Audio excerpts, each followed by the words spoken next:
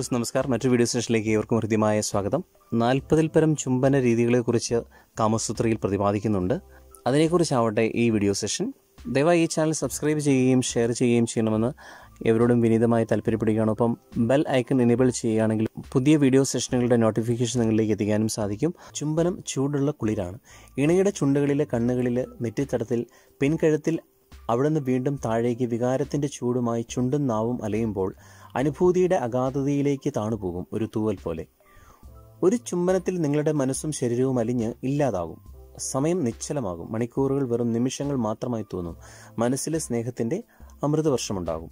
ചുണ്ടും ചുണ്ടും തമ്മിലുള്ള കിന്നാരം പറച്ചിൽ മാത്രമല്ല യഥാർത്ഥത്തിൽ ചുംബനം എന്നുള്ളത്. വികാരവിവശമായ ഹൃദയങ്ങളുടെ ഒന്നു ചേരലാണ് ഓരോ ചുംബനവും. ഒരു ചെറു സ്പർശത്തിൽ തുടങ്ങി വിടർന്ന ചുണ്ടുകൾക്കിടയിലൂടെ ഇണയുടെ നാവ് മെല്ലെ കടിച്ചെടുത്ത് നടത്തുന്ന ആഴമേറിയ ചുംബനം ലൈംഗിക പ്രക്രിയയിൽ എങ്ങനെ ഒഴിവാക്കാനാവും? വികാരത്തിന്റെ പരകോടിയിലെത്തിക്കുന്ന ഈ ചുംബനം ഗാഠമായ ഒരു ലൈംഗിക ചുംബനം നൽകുന്ന തീവ്രമായ അനുഭൂതി അനുഭവിച്ചിട്ടുള്ളവർക്ക് എല്ലാവർക്കും അറിയാവുന്നതാണ്. മേൽചുണ്ടിൽ നിന്നും ലൈംഗിക കേന്ദ്രങ്ങളിലേക്ക് ഒരു ഊർജപ്രവാഹം ഉണ്ടാകുമെന്നാണ് ഈ താന്ത്രിക വിദഗ്ധർ പറയുന്നത്. നിങ്ങൾക്ക് എത്ര വിധത്തിൽ ചുംബിക്കാൻ അറിയാം? ഓ അതിലിപ്പം അറിയാൻ എന്തിരിക്കുന്നു എന്ന് ചിലരെങ്കിലും ചോദിച്ചേക്കാം. ഇതൊക്കെ ആശാന്മാരില്ലാതെ പഠിക്കുന്ന പാഠങ്ങളല്ലേ എന്ന് ചോദിക്കുന്നവരാണ് കൂടുതൽ പേരും. എന്നാൽ നാൽപ്പതിൽ പരം ചുംബനങ്ങളെക്കുറിച്ച് കാമസൂത്രത്തിൽ വിവരിക്കുന്നുണ്ട്. അപ്പോൾ നാൽപ്പതിൽ പരം ചുംബന രീതികളുണ്ടെന്നും അറിയുക. ഇവയോരോന്നും നിങ്ങളെ ഉണർത്തുന്ന ഓരോ രീതിയിലായിരിക്കും. അപ്പോൾ ഇണയുടെ മുഖത്തെ അതിവേഗത്തിലുള്ള ചുംബനങ്ങൾ കൊണ്ട് മൂടുക കൺപോളകൾ ചെന്നി നെറ്റിത്തടം കവിളുകൾ എന്നിവ കേന്ദ്രീകരിച്ചാവണം ചുംബനങ്ങൾ. ചുംബിക്കുമ്പോൾ നിങ്ങളുടെ കൺപീലികൾ കൊണ്ട് ഇണയുടെ മുഖത്ത് സാവധാനം ഒഴിയണം. ആസക്തി കൊണ്ട് അപ്പോൾ ഇണയുടെ വായി തുറന്നു വരുമെന്നാണ് കാമശാസ്ത്രം പറയുന്നത്.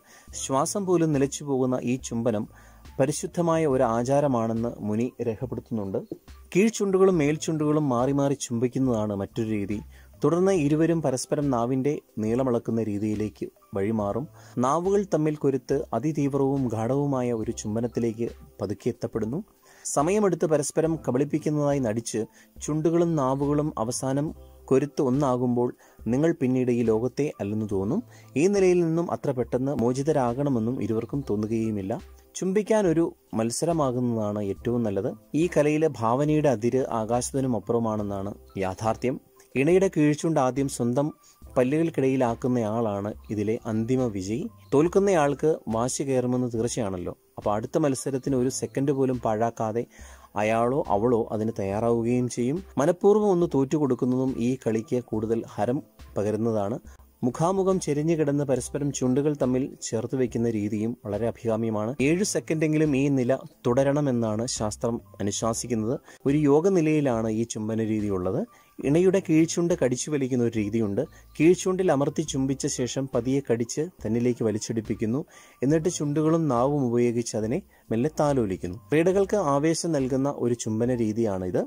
മേൽചുണ്ടിൽ അമർത്തി ചുംബിക്കുന്നതും കടിച്ചു വലിക്കുന്നതുമൊക്കെ സ്ത്രീക്കും പുരുഷനും ഒരുപോലെ ഉത്തേജനമുണർത്തുന്ന ഒന്നാണ്. സ്ത്രീയുടെ ലൈംഗിക അവയവങ്ങളും മേൽചുണ്ടുമായി ബന്ധപ്പെട്ടിരിക്കുന്നു എന്ന ചൈനീസ് സിദ്ധാന്തം കാമസൂത്രത്തിലും അംഗീകരിക്കപ്പെട്ടിട്ടുണ്ട്.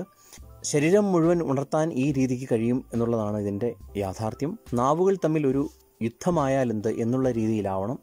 പരസ്പരം നാവുകൾ കൊണ്ട് ഒന്ന് പൊരുതി നോക്കണം. നാവുകൊണ്ട് നിങ്ങളുടെ ഇണയുടെ മേൽവായിൽ തൊടാൻ നിങ്ങൾക്ക് കഴിയുമെങ്കിൽ നിങ്ങളുടെ ബന്ധം ആയുഷ്കാലത്തേക്ക് മുറിയില്ലെന്നാണ് താന്ത്രിക ശാസ്ത്രം പറയുന്നത്.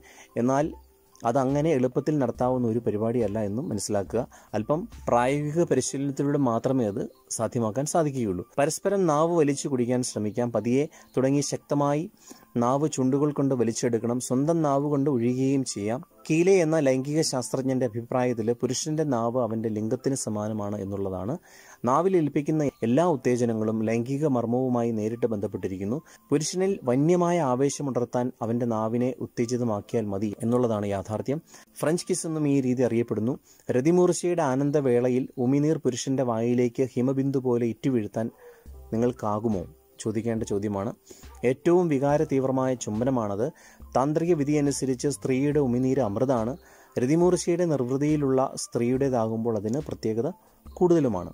നാൽപ്പതിൽ പരം ചുംബന രീതികളെക്കുറിച്ച് വളരെ വിശദമായി വിശദീകരിച്ചിരിക്കുന്ന കാമസൂത്രയിൽ പെടുന്ന ഏതാനും ചുംബന രീതികളാണ് മേൽ വിവരിച്ചത്. എന്തൊക്കെയായാലും ദാമ്പത്യ ജീവിതം ഒരിക്കലും ഒഴിയാത്ത ഒരു മധുചഷകമാകുന്നത് ഓരോ തവണയും പുതുമയും പുതിയത് കണ്ടെത്താനുള്ള അന്വേഷണത്തിലുമാണല്ലോ. ഇണയുടെ ഹൃദയത്തിന്റെ ആഴങ്ങളിലേക്ക് ഇറങ്ങിച്ചെല്ലുന്ന ഒരു അനുഭവമാകണം ഓരോ ചുംബനവും.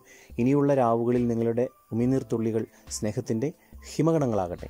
ഈ സെഷൻ ഏവർക്കും പ്രയോജനകരമാകും എന്ന് വിചാരിക്കുന്നു. അപ്പോൾ അടുത്ത വീഡിയോയിലേക്കും. ശുക്രിയ ഫിർമില്ലെങ്കിൽ ബായ്